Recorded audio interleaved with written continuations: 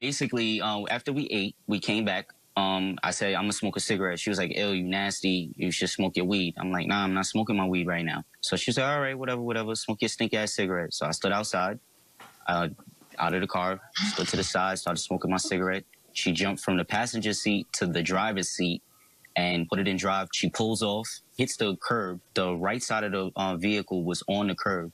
She rolls over the um, the e-bike first and then hits the stop sign. Oh, jeez. All right. What happened, Miss Carr? First of all, we're on live TV and you're lying. I have the messages and I have the proof. You say that was the 1st Mhm. date. That wasn't the first date. Okay? Second of all, you was drinking with me. You know very much well you was drinking with me. And consider I, I admit my part. I know I was drinking. I know I was intoxicated. I know I asked you to drive the car. But you were so busy trying to get into my pants again that you said yes and handed me the key. You understand? I, there's no way I would have been able to do that that fast and drive off. And the accident didn't even happen on the same block. You understand? So Where now you're just the, lying. no, I'd like to Didn't even happen understand. on the So wait, block. what's your defense? So did And you, was get in the, car? with me. You get in the car, and what happens?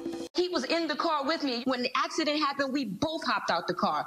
Then you told me, oh, get back in the car because you're drunk. Get back in the car. Then you talk about, I told you something about some stink cigarette. Like, that's how you know you're lying and you're just going along making up stuff. Like, come on. Did you have an accident or didn't you? I did have the accident. Tell me about the admitted to accident.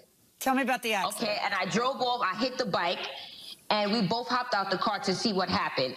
You understand? And right then and there, he told the guy, he's begging him, please don't call, please don't call the insurance, please don't call the insurance. You understand? And right then and there, I paid him $800. I sent him $800 through Cash App right then and there. You sent anything. who eight hundred dollars? Kevin. Kevin. Okay. I sent Kevin the eight hundred dollars, and I'm guessing he was telling the guy that he was going to give the guy the money so the guy doesn't call his insurance. So he tried to go around the insurance. It was an accident, and when you have insurance, you Did you- report the insurance. Did you hit the stop sign too? I don't remember hitting the stop sign. I remember the bike, but I don't remember the stop sign.